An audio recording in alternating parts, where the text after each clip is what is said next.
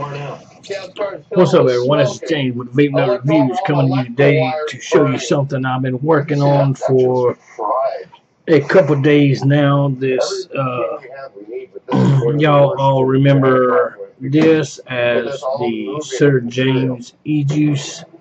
Well, I've come up with something that I figured that hmm, why allow that box to sit there? So I have come up with something. And I'd like to get your opinion on it, if you think it's a great idea or not. I, I don't think it's going to take that long, three, four days, you know, man. I gotta take a little vape before we go on further. Down below, but I'm just wondering how far down below. So, I mean, I'm even. And that is my penny mod that I'm vaping on, uh, Copper Plumbville penny mod. And then just run the material that we get down below. Now back to this. My Sir James. I figured how can I get the best use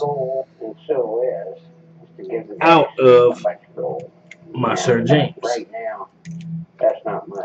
box. So Todd wants to stop running tons of shallow I put something together. all of their resources on digging to the big gold at the bottom of the glory. I'd like to introduce y'all to the first well this is the second one I have done. This is the first one I ever done. I don't know if I have the second one I gave to a lady at Ragin Vape. So if you're in the area and you want to get a better look at it, you can go to Ragin Vapes and she'll be glad to show it to you. But I'm going to bring it to you today and show you here. This is my 18650 and 26650 mech mod made out of the Sir James box. Right now it has a firing button, LED light for to show it's being fired. Let me put a uh, put some e-juice on here. I know we're coming to the end of the money, and that means the end of the summer.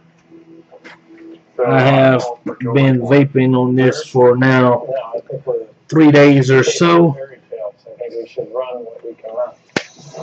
It does really, really good. Show you how it vapes, and then we'll go in and we'll get a closer look at it. Closed them down. Right, I don't have a page that, so it's not too hard to figure out. I'm in big trouble. He rated his pension to come mining and is one mortgage payment away from losing the family home. We were at um, the verge. As you can see, it does very good. And the banks don't have any. Uh, let's take it in. I have the fire button. Too bad. I have the LED light that lights up when it's firing.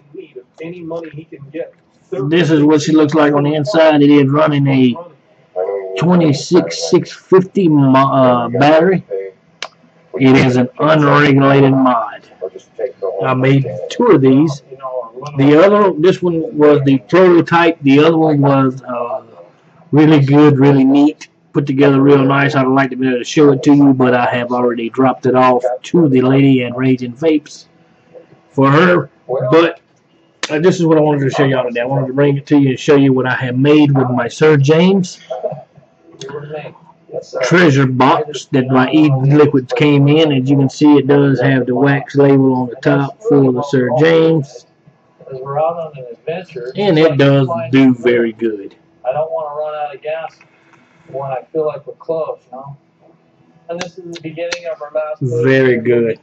But I wanted to come and show y'all and let y'all tell me what you thought about it. And I have another idea that I want to throw out there to y'all, and y'all tell me do I do you want to see it or not?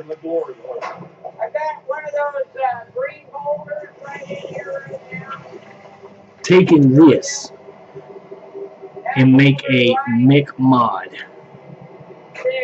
Can you imagine taking and making a mech mod with an RDA on top of it like this, vaping from a Mountain Dew or a mech mod.